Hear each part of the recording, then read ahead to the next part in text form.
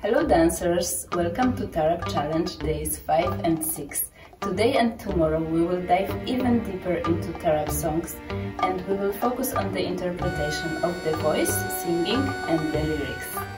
On day 5, we will dance to the mawal. This part of the song often has a question and answer kind of structure. Follow the voice with your movements and look out for the little decorations added by instruments like violin, ney or tabla that can allow you to change the quality of the movement making your dance more exciting and rich. Day 6 is a big day because we will finally dance to a full Tarab song. It is not a must if you're not performing, but it is always a good idea to check out the general meaning of the lyrics before dancing. Remember that even if the lyrics are sad, we as dancers are entertainers and we have to express first and foremost our love for the music. So yalla, just listen, feel, react and enjoy the moment.